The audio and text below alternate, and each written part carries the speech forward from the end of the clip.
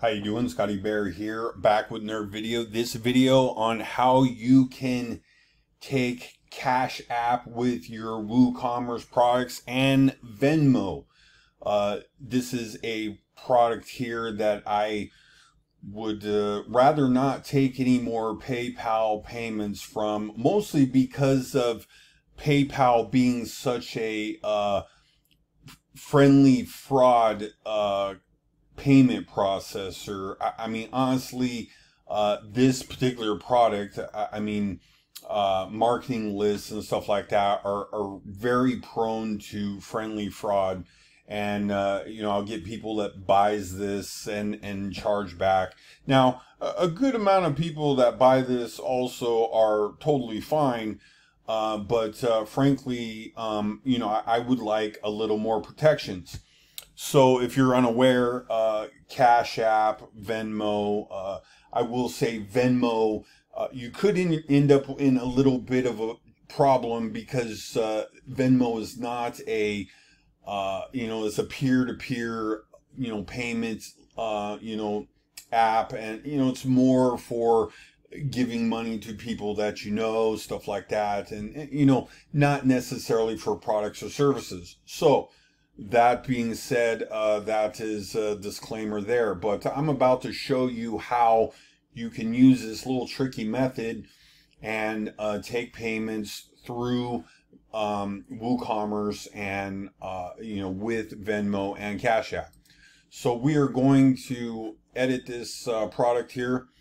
Um, as you see, we're going to scroll down to the second field here. We're going to expand it out and uh, we're going to add media. So I, already, save time here, I already have these two um, QR codes cropped and uh, ready to insert uh, in, into the post.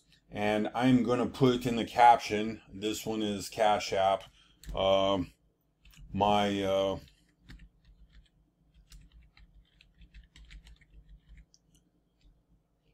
and then um, maybe you want to put the price in there too. Whatever.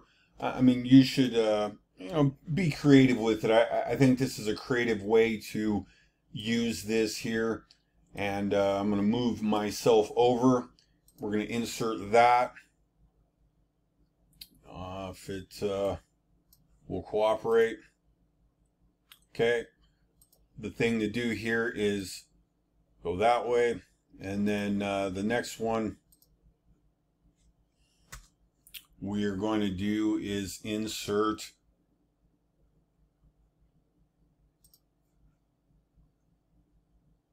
Venmo. So we're going to also put that in there too. As it'll show up here in just a second maybe. Or maybe not Ah, maybe not.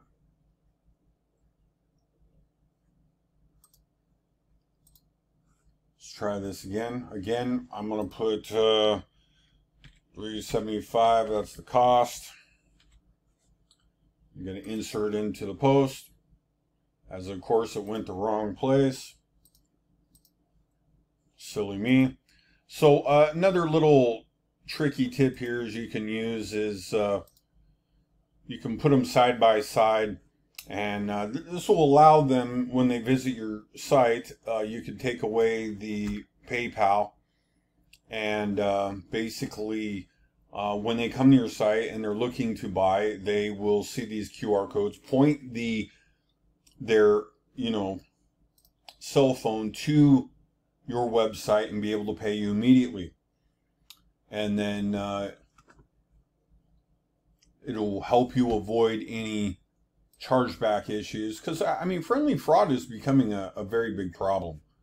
And uh, you know frankly if uh, these uh, payment processors are not going to offer you any protections uh, it's important that you try to make protect or build in protections for yourself. Uh, again uh, you know other products are mostly fine, but uh, email lists, non-tangible products as uh, PayPal calls them, and uh, you know I win a good amount of chargebacks from you know that uh, being the case. Uh, you know because uh, uh, you know it's mostly okay, right? But on the times I don't win, the scammer makes off with my uh, you know my hard work and uh, you know frankly I this is how I combat that.